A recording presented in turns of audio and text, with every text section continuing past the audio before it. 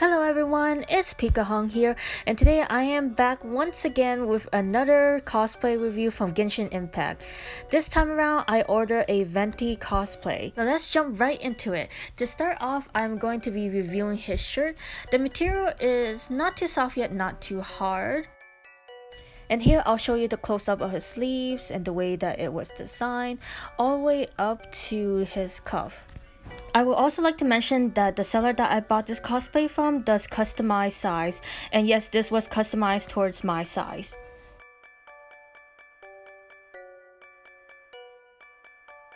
And here is the cravat that has the little pin on it, which is where you're supposed to pin it to the neck as I show in the video.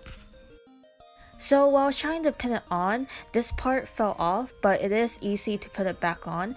I just was struggling with it and it did surprise me. Next up, I'll show you his waist binder and here's the detail on the back of it. On the side, there is a zipper.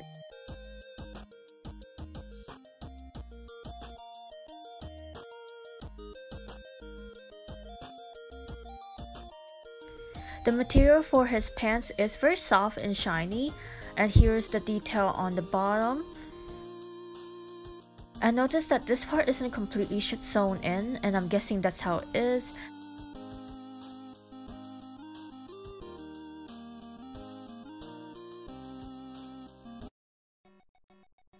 And here are two of his socks. There is elastic band at the top as you can see and because it's a little bit more longer than my leg I may have to uh, readjust it a bit.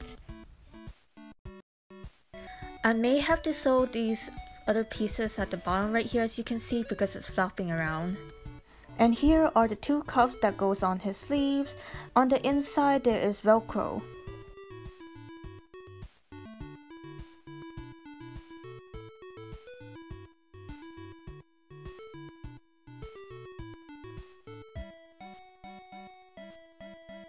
And one of my favorite part is his vision pendant made from resin and then there's the two little puffy ball with the feathers.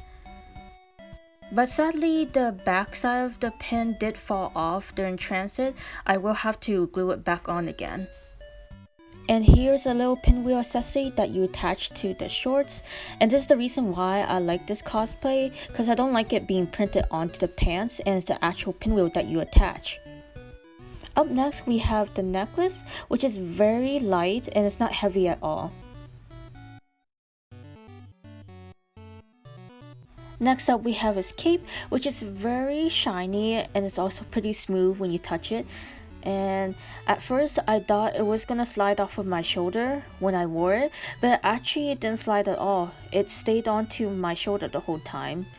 If you guys want to see the full cosplay, wig and everything worn correctly, I'll be posting a short dance cover of Patchwork, Patchwork Staccato sung by the Chinese voice actor of Venti, and I'll be leaving the link to that video down below in the description as well as at the end of this video. I hope you guys do check it out. As mentioned before, the pin on the badge fell off so I couldn't pin it on for this video, but this is what it's supposed to look like.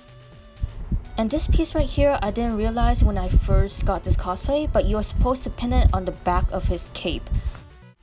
And finally, we have his hat. Here's what it looks like. And at the bottom, there's two pins opposite of each other.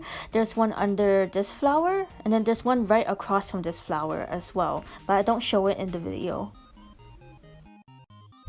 And here is the full cosplay. And I know I may have worn some of these wrong, but I'll fix it next time. Here's a closer look at the detail on the inside of the cape.